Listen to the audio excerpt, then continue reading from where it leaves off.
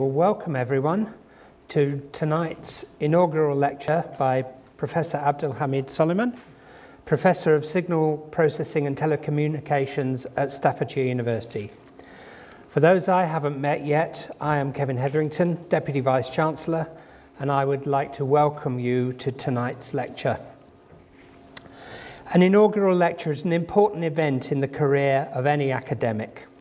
It is only offered to those when they attain a professorship and gives them an opportunity to share their research with a public audience that reaches beyond their own colleagues and peers. To give such a lecture is a mark of achievement and distinction for those who have attained the highest academic status within their chosen field. To present such a lecture provides a professor with an opportunity to share their contribution to knowledge creation and to communicate that not only to those here today in the room. In the past, that lecture would also have been published in written form and made available subsequently in that way. Today, we're able to disseminate more widely and we'll be recording this evening's lecture and it will be made public on YouTube so that many who are unable to be here tonight can see it now or in the future. Inaugural lectures are also important for us at Staffordshire University as the hosting institution we are able to show with pride our academic achievers and the importance in which their research is held. The work we're going to hear about tonight is a mark of academic excellence at the cutting edge of new science and new thinking within, with new applications within societies and across the world. This is something we seek to champion at this university. So let me now tell you something about Professor Abdel Hamid Soliman. He has worked as an academic for over 30 years in Egypt, UK, USA, and China. His research focus is on signal processing, telecommunications, and smart systems. Through this, he is particularly interested in linking new research to real life applications in order to tackle everyday challenges. He was awarded his PhD from Staffordshire University in 2007. His thesis looked at content-based image retrieval and feature extraction. After completing this, he joined Staffordshire as a lecturer in 2010. Since then, he has worked hard in his research, producing over 60 peer-reviewed papers. Like most academics, he works on his research in collaboration with others. His research was carried out with partners both here at Staffordshire and at Sheffield, and also internationally with academic colleagues in Jordan and numerous places beyond that. Like all good professors, he is also an educator and has sought to bring on the careers of many other academics. In this respect, he has supervised 16 PhD students and has helped them attain that award for their research. His main areas of research interest are in artificial intelligence and deep learning, with very broad application and knowledge transfer in many areas. He is interested in how these can be applied to find solutions within day-to-day -day living, such as, for example, in improvements in olive growing in Jordan, in 3D breast tumor diagnosis, smart monitoring of diabetic control systems, work on the Internet of Things and location identification and around water supply. As we can see, his understanding of these smart systems has wide application, and this is particularly impressive, an aspect of his work. He has received recognition for this work through several awards, including the Lord Stafford Award Impact Through Innovation for designing and developing a smart monitoring and controlling system for diabetic people. He also received the AWM ICT Excellence Award for Best Knowledge Transfer Project in the category for designing and developing an electronic bladder diary and also a UN UHNS Clinical Innovation Award for designing and developing an online multimedia-based training system for surgeons. He also holds an honorary professorship, a great mark of esteem, from XUPT China. As well as his own research, Professor Soliman is an editor or associate ed editor of four academic journals. So it gives me great pleasure this evening to introduce Professor Abdel Hamid Soliman. After he presents his lecture, there will be an opportunity for members of the audience to ask him questions, and I will facilitate that discussion. His lecture is entitled Smart and Intelligent Systems, Design, Application and Challenges. over to you, Professor Soliman. Thank you.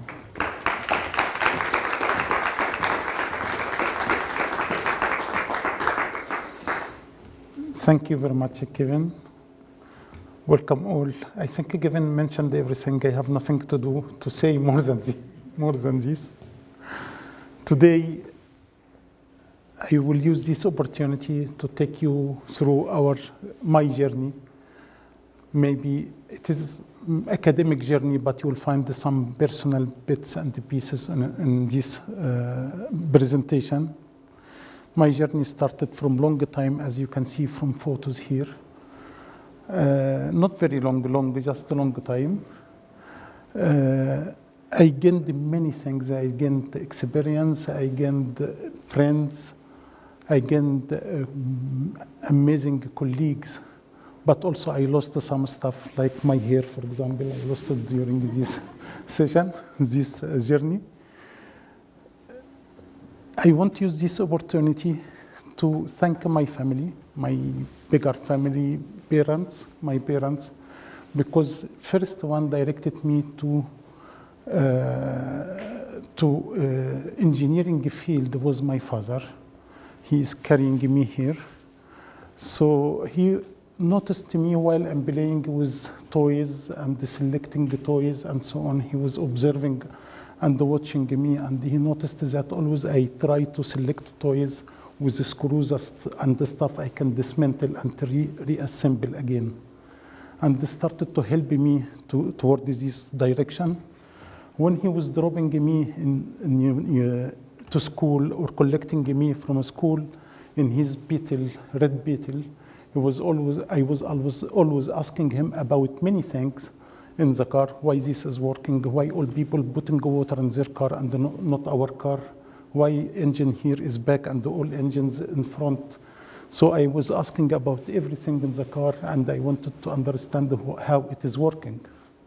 Then I started to spread and expand and try, I was trying to fix stuff at home.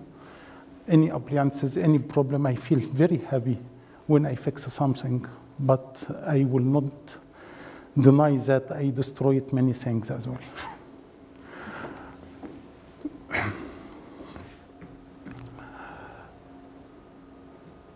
From the academic side, I started to build these skills by joining university in Egypt, Arab Academy for Science and Technology. I joined uh, College of Engineering. Uh, my major was electronics and the telecommunications. Uh, really, I enjoyed uh, uh, studying in the university in Arab Academy for Science and Technology because their style, it was a little bit different than the common style at this time. There is no theaters and so on, just small classes, each class 20 students max maximum, full, full access for labs and so on. Then really, I enjoyed this time. Uh, it was about five years because bachelor degree in Egypt five years. This the university in Alexandria, but they have different branches everywhere. After graduation, I joined Alexandria University Institute of Graduate Studies and, and Research, and I did my research in information technology. I built data acquisition system to acquire information from ship engine room to monitor ev everything, every bit inside the engine room in one screen. And I want to thank the Arab Academy for Science and Technology because they give me the access to their uh, ship AIDA 4 uh, to use it as a case study to build some prototypes in uh, the system, in their, in their ship. After that, I joined Staffordshire University to start my PhD in the area of content-based image retrieval. It was hard time for me, not because of research, I enjoyed the research, but during this time I suffered from stroke and I left, I my left side of my body was paralyzed. Uh, I was not able to speak, but thanks God recovered. And I'm mentioning that to really to thank my smaller family, my wife and the kids, who supported me a lot during this time. And there is, you have, really, they have a very big role in that. In, in addition to my friends in the research area, uh, university staff, and my supervisors. After not after, in parallel, in parallel, I was thinking about engineering really for, for, for one of the reasons. I noticed all world invent, investing a lot in weapons, in war, in killing each other. And we have already huge amount of enemies. We have enemies in many fields. We have natural disasters. We have earthquakes, floods, virus, uh, flood, uh, so- water, water in some places, people dying because there is no water, and some other places, people dying due to floods and extra water. And I felt the engineering can contribute in, sol- in providing some solutions to these problems. If you go anywhere, you will notice engineering is there. If you go to hospital, in theater or operation room, you'll find a lot of equipments, ar- equipment around you. If you are going for industry, you will find everything is automated now. Uh, transportation, uh, safety, security. And by the way, um, when I mention engineering, really, I mention the word. I mention the word engineering because this is my area. But you can apply, you can apply it for computing, for science, for many other areas. For psychology, you will find also their fingerprint everywhere.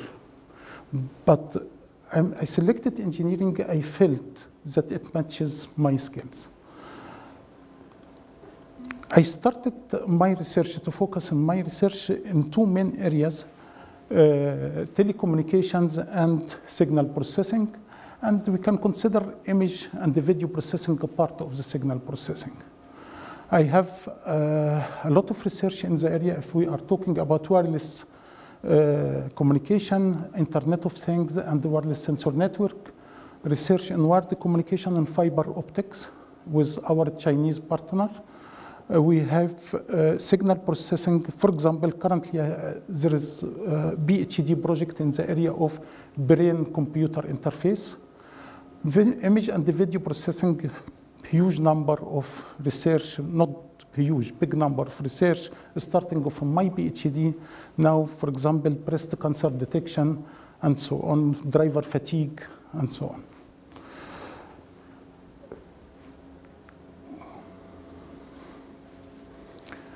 Today, I, I will not focus a lot, or I will not focus deeply in my research because I know backgrounds of audience will be from uh, different, uh, all audience, they are coming from different backgrounds.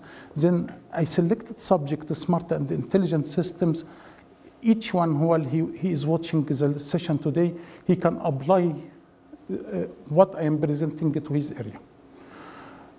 Smart and intelligent systems. Systems, we know what is system, but smart and intelligent, it is really debatable word. If I'm saying this system, what I consider smart, maybe you will not. Then it is a little bit debatable word. For that reason, I will adopt this definition in my presentation, that intelligence, it is what we are born with. We are born with fixed amount of intelligence. Is this the end? No, we have the smart side. Smart side is an earned status. I, I, I increase my smartness by education, learning, uh, acquiring experience, and so on. Then we will adopt these two definitions during our uh, presentation when we talk about the smart system and the intelligent system. Yes, we have intelligent system, very intelligent, and they have intelligent system can learn and adapt with our needs. This is what we call it smart. But sure, you can judge the system is smart or not based on the decision. Then based on the system decision, you can say this system behave with a smart way or not. To be able to behave or to, to give you a smart decision, I need to acquire the, the required information first. I want to adjust this, the temperature room. Shall I raise temperature or push it down? I need first to, to acquire some knowledge. What is the temperature now inside the room? Then it is 15 years. I need to raise the temperature, to increase the temperature. Also, not only temperature, and I need to know if some people in the room or not. If there is no one in the people, why I spend the money to warm up the room? There is no need. Then I will need to acquire the right information, the required information to be able to take the decisions. And first step, we'll use sensors to acquire information about our application. I'm using temperature as an example only, but we'll see practical examples later. Then I will start to process it to see the temperature in the range or not. If the temperature will be in the range or not. If it is not in the range, I will try to take action. To take action, really the processing unit does not take action, but they have the decision and then it will be sent to actuators to take the decision to switch on air conditioner or to switch off air conditioner, for example. These are the three main parts. You will find them everywhere. Acquiring data, process, take action. These are the main parts of systems or smart systems. There are three main, there are, there are three hidden parts. Normally, we don't consider them, we don't see them, but they are really very important. They are the same, like these three parts. First, one communication, and the communication responsible about transporting and moving information between different parts of the system. Power. Power is very important. In some project, the main challenge is power. Like one of my students who was doing his research and he completed his PhD about manhole cover monitoring. Then we are putting this node in each uh, manhole cover will detect if there is corrosion, if there are cracking, if, it is, if the manhole cover tilted, and so on, and uh, we'll acquire all of this information in central place in server, and then we can notice, we, can, we will not wait until the problem happens. We will fix it before it happens. To do this, I need source of power. Most of manhole covers, they are not close to source of power. Then power itself, it is, it is a, an important point, and we have good research team in this area. This is not my research area but I need to, un to, understand the whole image. Now we will come to the maestro. The maestro of our system is the software.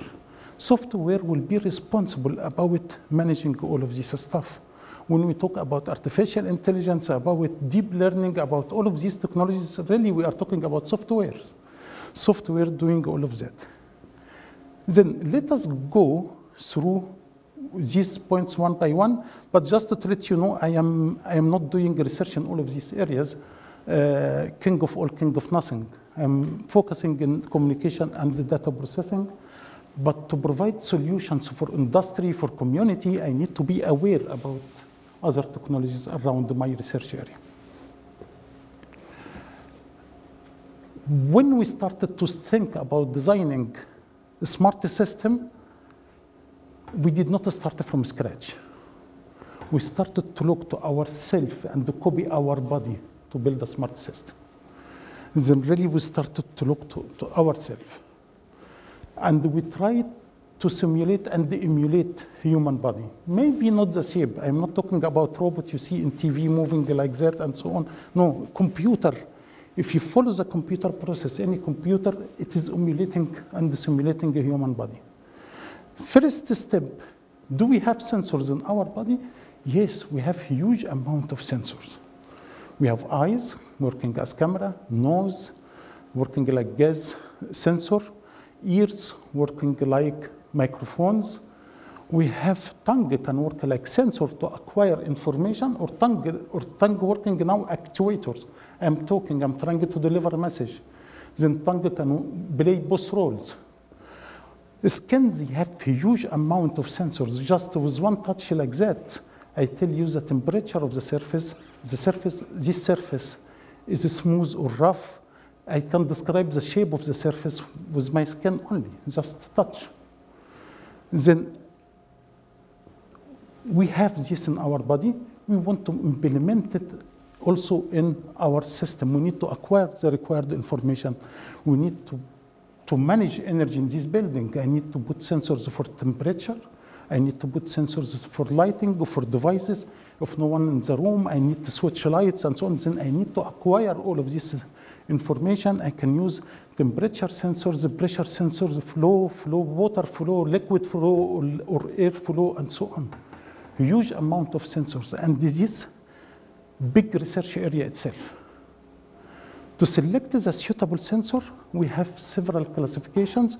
We can think about power requirements, about uh, physical, uh, if, they are, uh, if they are contactless or contact sensors, like uh, sensing principle, temperature will change resistor or temperature will change capacitance and so on. There are many, many parameters we can classify sensors based on them. After that, we have characteristics of these sensors. We need to think about them. We need to think about the accuracy, precision, uh, uh, sensitivity, and so on. If, I'm, if you are going back to the same example about temperature sensor, if I'm selecting a sensor to tell me temperature now in the room is 20 degrees, I can pay 100 pounds extra to, to, to have high, high accuracy sensor to tell me temperature is 2.001. It is not useful for me.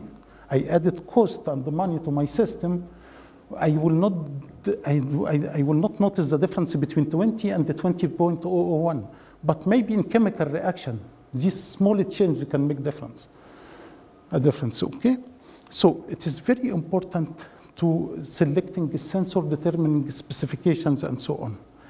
Now sensor will produce the signal to go to the processor or to be processed and analyzed. Unfortunately, the output from sensor not suitable for that. We need to go through data acquisition system. Normally, signal is weak. We need to amplify it. Signal carry a, carries a lot of noise. We need to remove this noise by filtering. Signal needs some processing. It is not linear. I need to fix this point. And at the end, the majority of sensors are producing analog signal and the majority of processing machines working in digital format. We need translator in the model in the middle is analog and digital converter. Then it will go to the roll. As we said, I will put my hand here and I will tell you this surface is called. Why? Because signal sent from skin, sent from skin to brain, and the brain started to analyze and to, to, give, to, to extract this information. The same here, signal after acquiring a signal, I need to send them to processing unit, to the brain of my system. Brain of my system, like human being exactly, signals goes through nerves, different nerves to brain to be processed.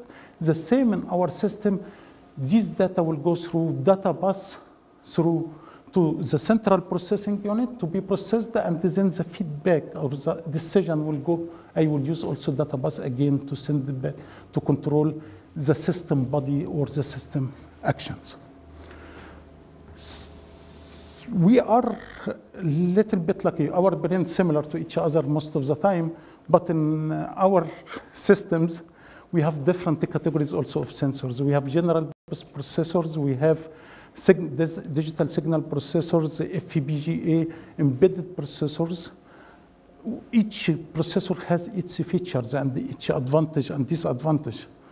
Uh, for example, for our computers, we are using general purpose processors like Intel processors, like uh, M1 from Apple processors. We are using these processors because I can use computer to read email, someone use it to play games, someone to browse internet, someone to control production line. Then we need processor with a lot of facilities. At the end, I'm using, if you check your processor on computer, you'll find you are using 20% of its power only. But this is suitable for the nature of the application. I, I will not be able to tailor computer for each person. But if I want to tailor something, like for example, I want to control washing machine, I, I want to control uh, microwave. I will not use general purpose processor. I will not buy processor for 500 pounds or 400 pounds to control microwave for 80 pounds. Then we go to embedded processors or microcontroller. They are dedicated, they have dedicated functions. I can use them and they are very cheap. Also we have, after selecting the right processor, we need to check uh, the processing power, the required processing power. For example, when I go to buy, to buy computer, I ask for processor Intel i3, i5, i7, i9. These different categories inside the main category, general purpose processor. Then I need to know number of bits, number of cores, memory, internal, external, how much memory this processor can manage. I need to know all of this stuff. Unfortu- unfortu- Unfortunately, when we go to buy a computer, we just go to any shop and saying, I want a computer 2 gigahertz, Pentium 2 gigahertz. It is exactly if I'm going to buy a car and saying, I want a car 2000 cc. Could be Ferrari, could be Fiat. I need to, to give more details. And this is what we are trying to teach our students here. We are telling them, if you studied engineering course and when you go to buy computer, you, you search for someone to help you to put the specification, we will be failed in this case. I want you to, everything you study here to apply it in real life, in your personal life. Then last step, action. Now we want the action. Do we have actuators in human body? Yes. As we said, mouse is, uh, is actuator, muscles, actuators. Then in, in, the, in sports, for example, this example in sports, the player will watch, observe the ball, acquiring data through his eyes, processing data, determining his position, and based on his position, you will find big amount of orders going from brain to muscles, joints. Some of them will expand, some of them will relax, some of them will uh, will push him in different sides and so on until he reaches a point. Can you imagine how many muscles will, will change, will move, will, I need to change their condition to catch a ball? The same, when you ask me question, I start, I will listen, I will think about it, then I will use lips and mouth as an actuators to start to talk about them. I am not even using the mouth and the lips only, all of the time I'm using my hand, my arm, there is body communication as well. Sometimes I don't, I will not use my mouth and my, and my tongue. I just look to someone, he knows the answer after that. My wife does this with me a lot. So, uh, the same here in our applications, we have our muscles. Yes, we have mouth and the tongue speakers, our mouth and the tongue. We have our muscles, they are actuators. We, they are, for example, electric, electrical actuators, DC motor, AC motor, uh, stepper motors, solenoids, and the hydraulic and pneumatic actuators. We have huge amount of actuators. Each type can be used based on the application need. We will start now talking about the hidden three components. Communication. Many people they consider this era as era of computer or era of artificial intelligence. Personally, this is my personal opinion. This is the era of telecommunication or era of communication. If you are going to switch on your computer now and you, you, you did not find the internet, I am sure you will not stay on it. You will switch it off and you will, you will not continue on your computer. We have in our body very good wired communication system, our nerve, transporting data everywhere in our body, linking our body organs together. Also, we have wireless communication. What I'm doing now is wireless communication. I'm converting my thoughts to acoustic waves to go to you. It is wireless communication.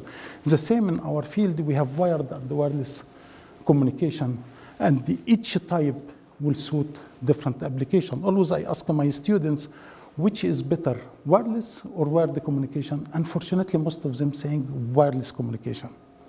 Then my answer always, maybe you are right, maybe wrong, but sure, my question, it was wrong. I need to tell you the application. Without application, I will not be able to determine which type it will be suitable. I cannot use wired communication with mobile phone. But in project, for example, with one of oil companies, we wanted to, make to build a communication system in their premises, but their premises, they have very heavy electromagnetic field. And at the same time, it is ATEX area, it is uh, uh, explosive area, gases everywhere. If I'm using a wired cable, can generate arcs and sparks. Wireless signals will be killed because wireless signals in air. It will be destroyed. Then the solution, it was to go to fiber optic communications uh, mean. The advantage of fiber optics, they are insulator. If they, are, they will not generate any sparks or arcs. Yes, fiber optics, fastest, com fastest communication way or communication channel in the earth till now. Because we are sending data with light speed.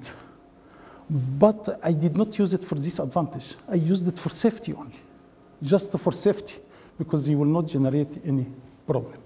I can have in each block of these blocks uh, full session. so this is just a quick idea about them, even coverage range. For example, if I'm talking about wireless communication, if I want a small communication like between the uh, remote control and the TV, infrared is enough for me. I want a longer distance, like between a smart smartwatch and my mobile phone. I will go to for, for Bluetooth. Longer, I will go for Wi-Fi, and so on. And normally in our system, we don't use sing single communication channel. We use several communication channels. Like if I'm going to the same example, a smartwatch will send, smartwatch will send data. There are some sensors in the smartwatch to acquire data about our body, send it to the mobile phone Bluetooth. Then from the mobile phone, it will be sent to internet through the Wi-Fi, through access points. Then I'm using the Wi-Fi wireless communication. Then from the Wi-Fi till the switch in, in, in, uh, outside the building, it will be metal cables. After that, it will be fiber optics. After that, maybe it will go to satellite communication. I used all of these communications and just maybe while I'm delivering one lecture for students. Second part, power. And the power for us is what? food. Is the food. Is this is the food for the system. Then power is very important area. And as I told you, some projects that challenge mainly with power, not, not about other parts. Sometimes it is about power. But as we, when we go to select our food, we're trying to select the fresh food, the uh, organic food. Also, I don't like to think about source of power means or batteries rechargeable or single use. No, I want to dive a little bit a step deeper to think, it, is it coming from renewable energy or not? If I am moving to electrical cars and still to charge my car, I need to burn oil to generate electricity to charge the car. Yes, the effect, the side effects went outside the city, but still inside the whole plant. So really I liked this quote for Ahmed Zaki Yamani saying the Stone Age did not end because run out of stone, stones, and the age of oil won't end because run out of oil. Oil age should end because we should find the better way, better way for eh, generating energy. Software, as we said, the maestro, and responsible about every part. I will stop before I talk about software here few seconds, just because this last time for this screen to appear. Now we have about six components in our smart systems. Really, we cannot say there is an important component and not important component. All of them, they are very important. I cannot ignore any one of them. If I don't have power, I will have dead body in front of me. If I don't have software, I will have nice equipment flashing, but nothing on them, like I'm not able to manage them. There is no processing unit, there is no data acquisition, there is no action, no. I need all parts to work, to work together. For that reason,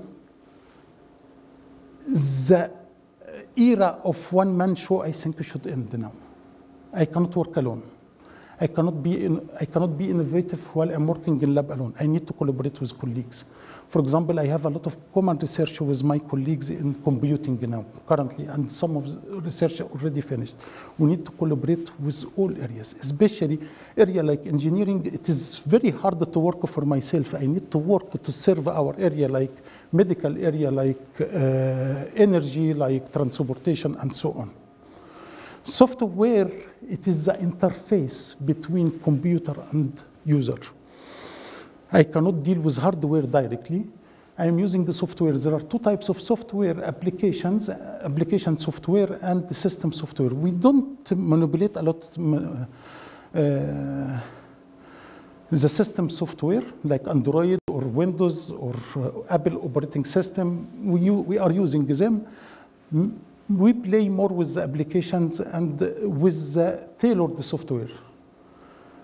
Uh, general uh, purpose software like Microsoft Word and PowerPoint, but when we build a system, we need to build a program as well. And I will give you a simple example. I will not talk about AI, artificial intelligence, about this stuff. Just a very simple example. Many programs, many systems failed just because bad user interface. User is not, it was hard for him to deal with the interface. It is just a user interface. We believe this is a small part, but it is very important. Now we'll take some relaxation with this nice video. Break for a few seconds with this nice video. And you can see the bird standing in water. The bird legs acquiring information about water speed. His eyes working like camera trying to find the food, try- trying to catch a fish, acquiring this information. When finds the fish, will go to hunt directly. No, there are also some errors that you, refraction errors. Brain will fix, fish is here, no, it is there. I see it here, but it is there. Then the brain of the bird will fix this error and will catch the fish from its place. Maybe bird born like that, or maybe by experience. After bad trials several times, started to build this experience. Then this a full smart system or a full system, as you can see. I will show you also another system, but this system we are working on it now, a smart olive harvesting system, and it is funded from Royal Academy of Engineering.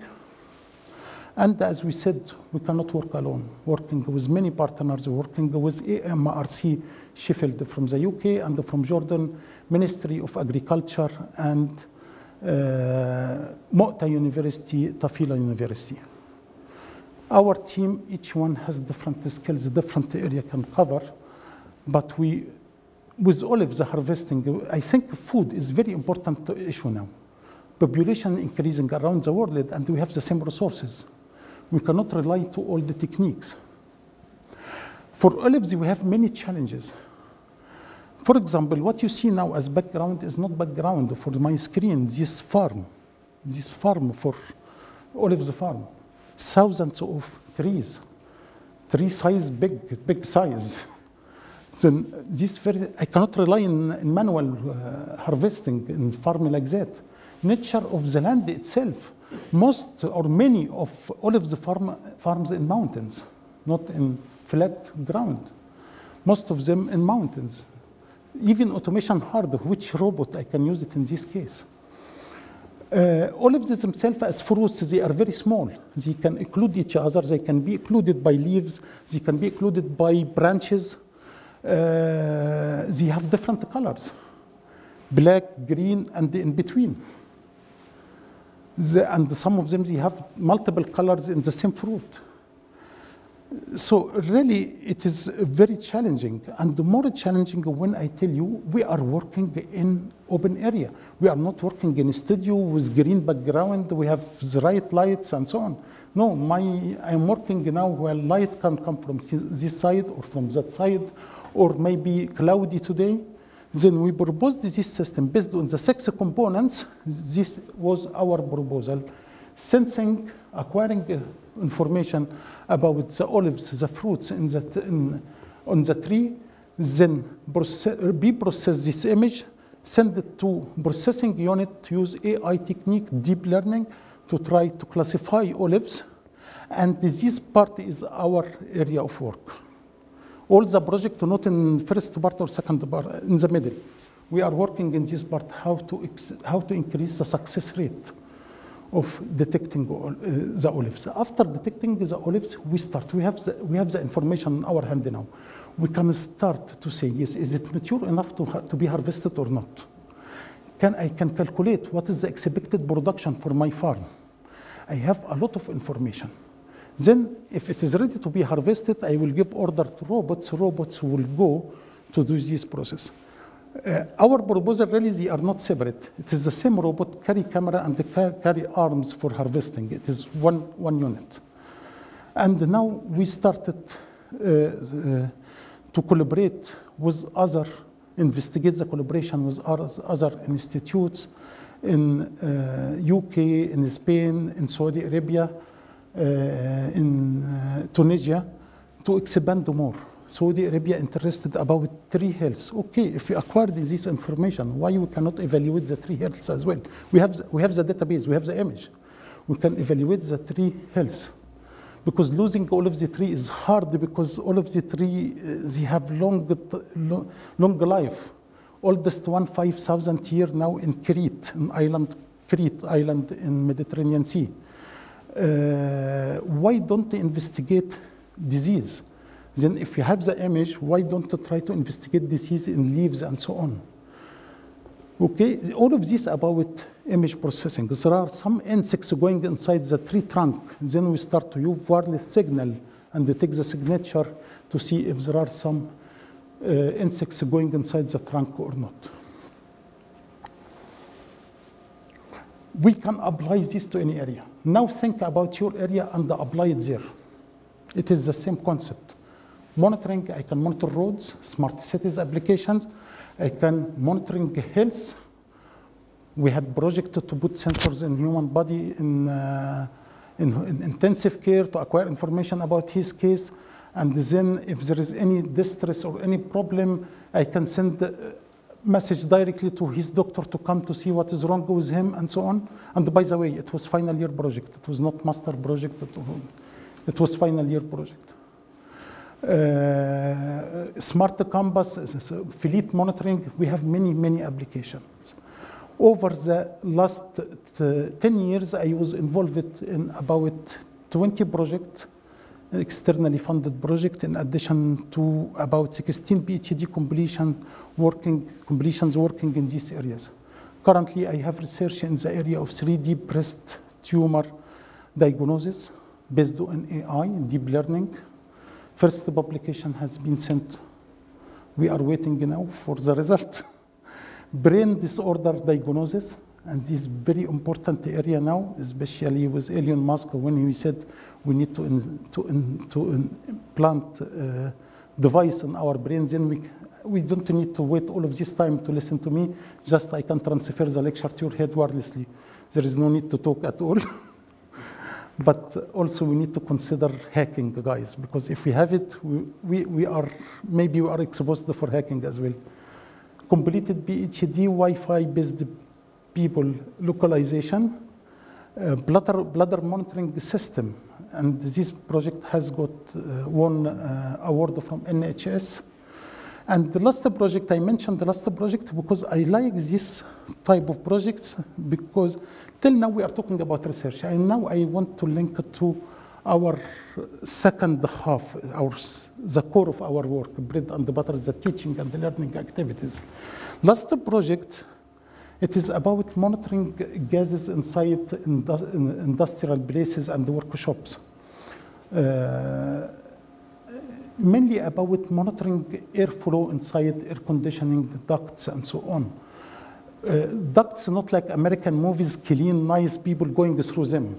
Ducts really, if you put your hand, you will come back with many, a lot of dust.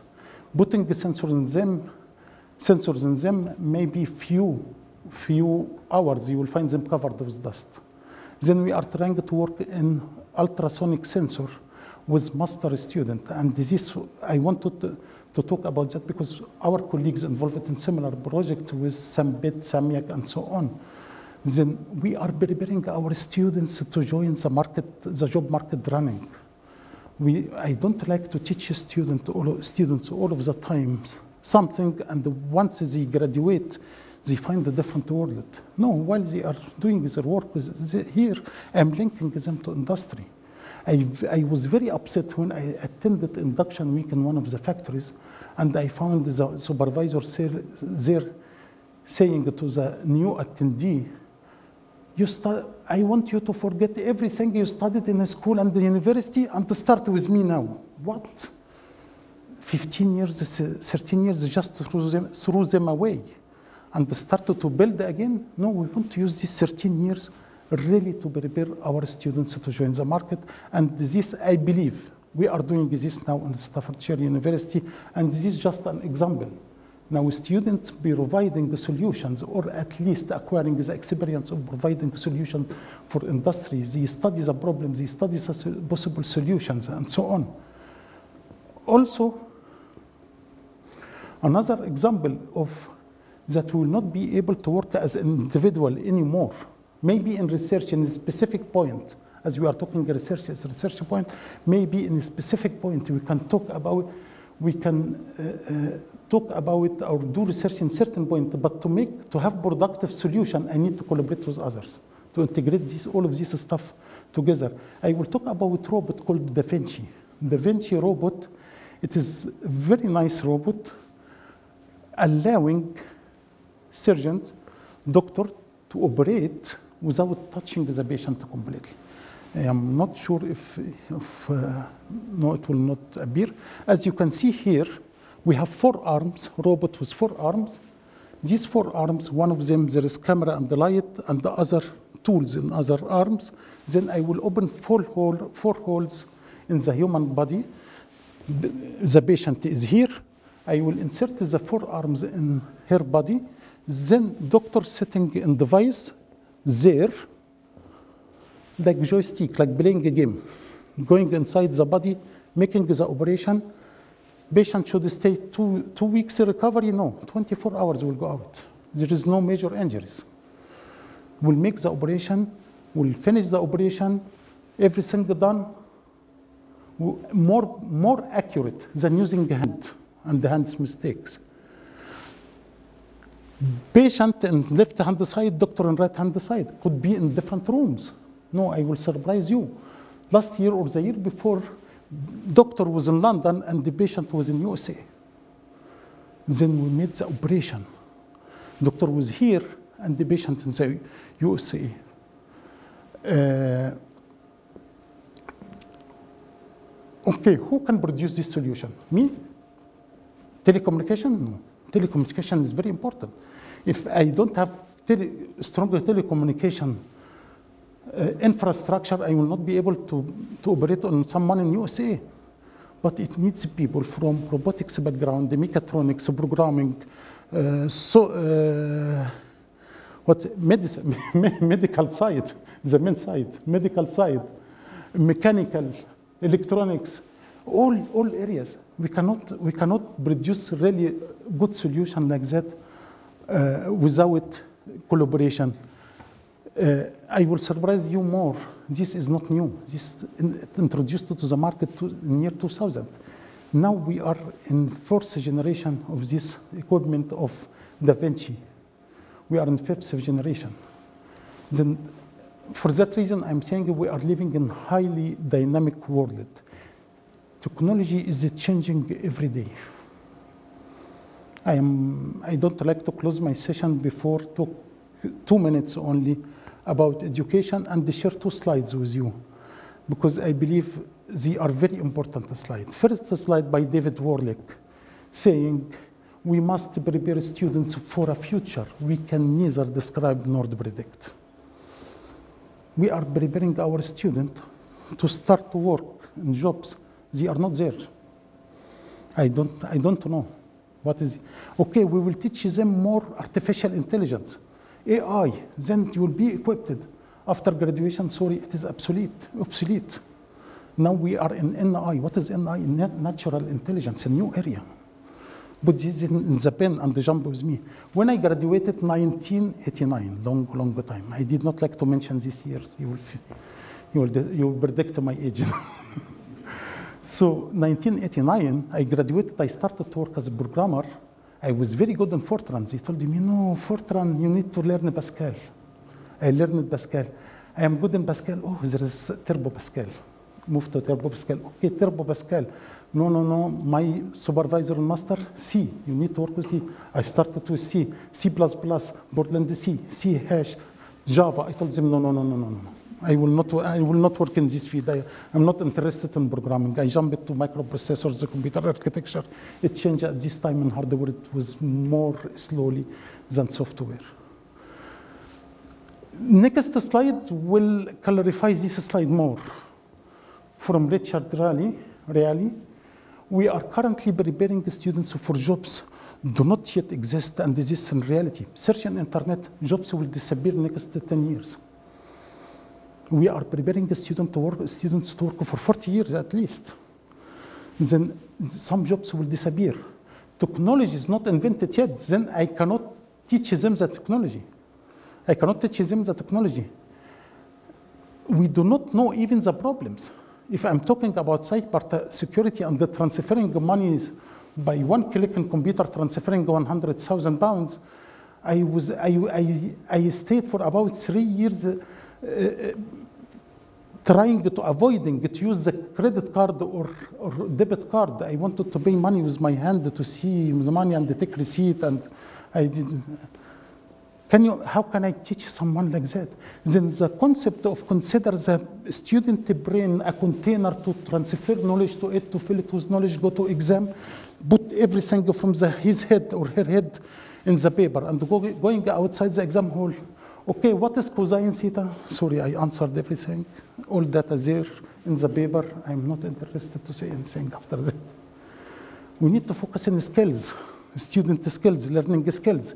The real learning will start after graduation, not during the, the, the, the, university time or school time. The real learning will be there, but we need to prepare them to focus on their learning skills, communication skills, teamwork skills.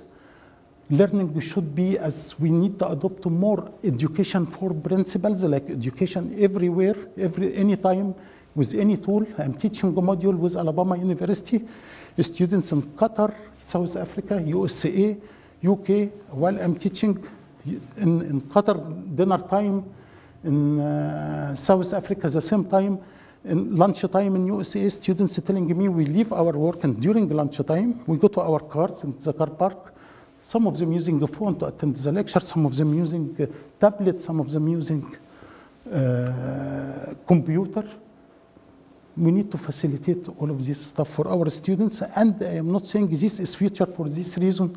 Sorry, I put future here, if you see in this slide, between quotations, because this is what we're already doing here in our university. We are trying to link our students really to real, real life experience.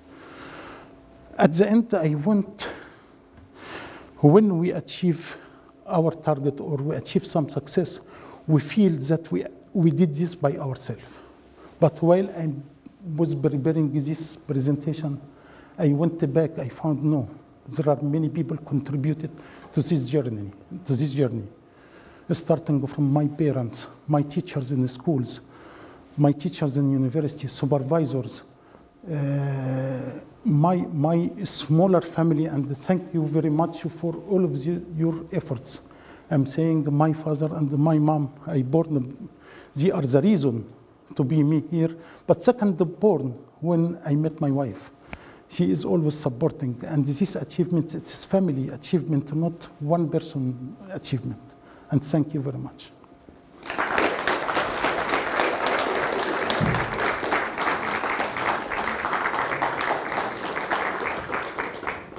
Thank you very much for a fascinating talk, and thank you also for making it sort of easy, easy to understand for people who are not experts in this field. I, I found that a very, very stimulating talk. So let me open it up. We've got a little bit of time for some questions if anyone has any questions. So um, your thoughts, please, colleagues. They are experts in the area, they will not ask. They're all experts in the area. So they, well, let me ask a question first while they're all thinking of their question. And that is when, when will we lose the, the term smart? At the moment, the term smart tends to be used because there are obviously systems that aren't smart. Yeah. And, and this is something novel and new and different. But how, when will it become ubiquitous? When, when will it become such a normal thing that we no longer refer to it as? We have already some smart systems available now. It is not something in future, but we need more applications. For example, first software I buy it for voice recognition. Instead of typing two, three pages, you can read them, and then computer will recognize your voice and convert them to text. When I bought this software, I remember it was from IBM in about 1999, 1998, something like that, in this period. When I started to, to read, while I'm starting to read, the recognition was very bad. Then, for example, in first page, recognition was about 50%. Second page started to be better. Started, then system started to learn. There is accent, there is stuff. Started to learn this stuff while I'm correcting my mistakes. The mistakes started to learn. Then we need these systems, systems to learn, to be, to be adaptable. Our system monitoring, sorry, monitoring and tracking your attitudes in computer and putting the adverts for you, learning from your, acquiring information about you and your interest and trying to provide you with what you want. Thank you very much. Any other questions? Yes, one here. Uh, got several others. Thank you very much for uh, really inspiring um, presentation. Uh, my question is uh, about the uh, smartness and the building of those smart machines, i.e. the, um, uh, the, the robots which can do a lot more than we can as a human being. When will we be uh, so worried about becoming so inferior to those machines? I can't tell you something we should be worried now.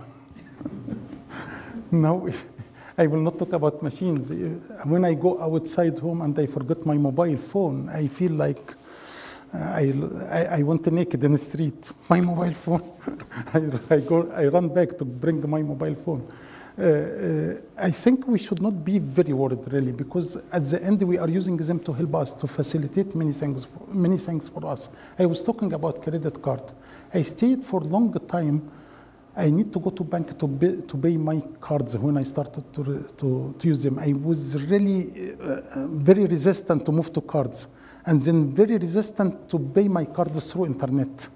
I stayed for a long time. Then after I, I started to pay my cards online, I saved a lot of money. Trip to the bank and finding parking, parking and, and I saved a lot of money. Then really the aim for these machines to help us. The main advantage of machine really, uh, they are not very smart than, uh, smarter than us, but the point, they, are, they don't feel bored. If I asked you to write, it was punishment. Write, I am bad student 20 times in your, uh, in your, in your, in your uh, notes. In computer, if you told the computer write it one million times, okay. it is easy for him. This is the main, main issue between computer and, and us. But now really it gives us a lot of facilities, a lot of features. Um, as I told you, we are teaching in China while we are, we are here, teaching USA while we are here.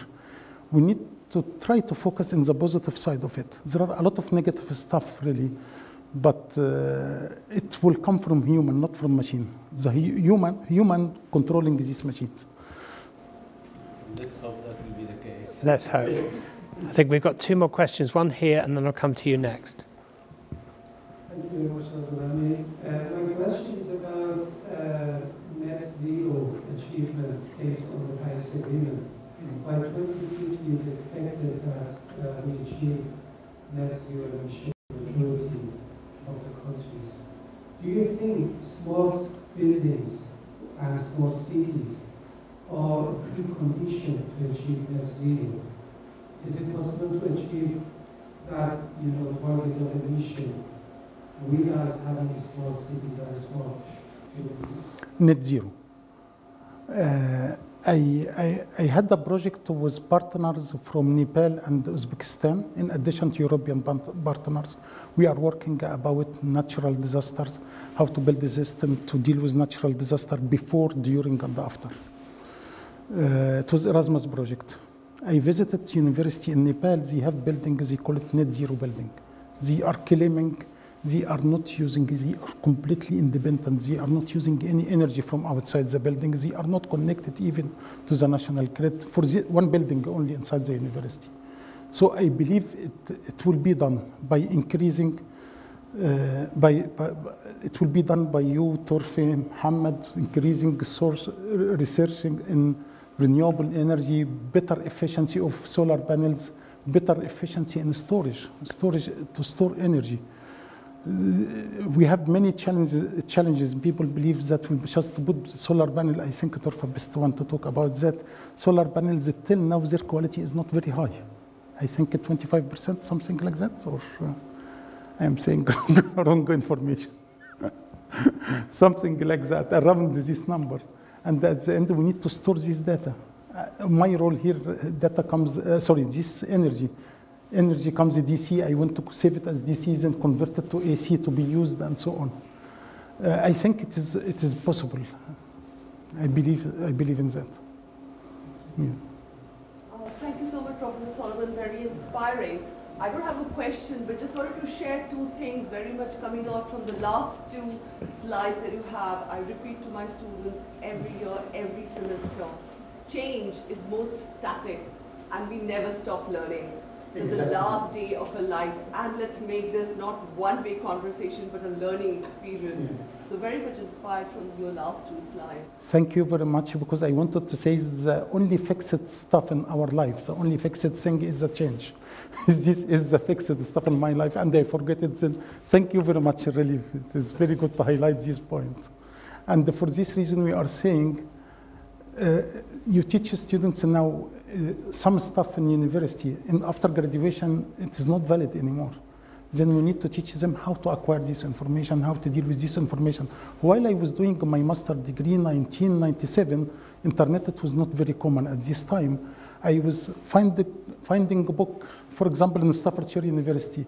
I asked someone in England if he can go to Staffordshire University, take photocopy of the book and send it by post, and he lost it in, in post, and he goes again it was a challenge to find the information. I'm telling my students, you're a challenge more than our challenge. If you found this information, we'll start to work with it. Now, just searching anything, you have 10 million match. Now, you're a challenge how to refine the required, acquired information. Okay, I think, I think that's the end of, of tonight's lecture. Once again, Professor Soliman, thank you very much for a really interesting talk. And if we could have one final round of applause.